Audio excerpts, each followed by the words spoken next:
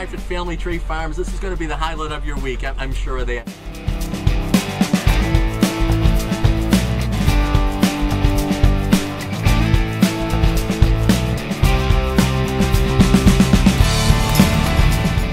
The thing that we are farming is light. We are always farming light. If we don't get light filtration down to this fruit, the fruit will not have color, the fruit will not get sugar.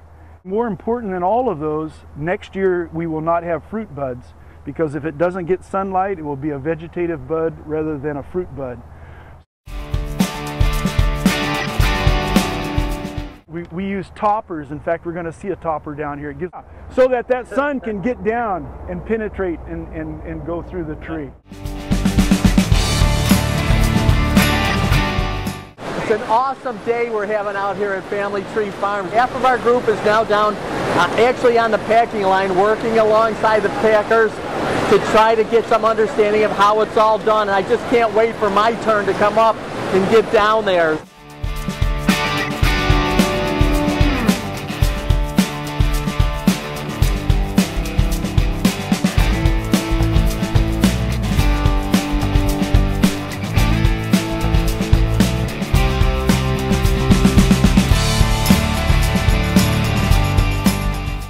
This point, the folks from Family Tree have put together 25 samples of items for us to try, from plum cots to yellow flesh to white flesh nectarines, and everybody's having a ball going around the table and offering up their opinion on which items taste best and, and grading everything. My understanding is that they're going to take all this information and digest it and, and see what varieties maybe have merit to be planted in the future. Real pleasure for my family, my sons, and my grandsons to toil the soil, to farm the sunlight, and take care of it and bring that fruit to you. So thank you for coming.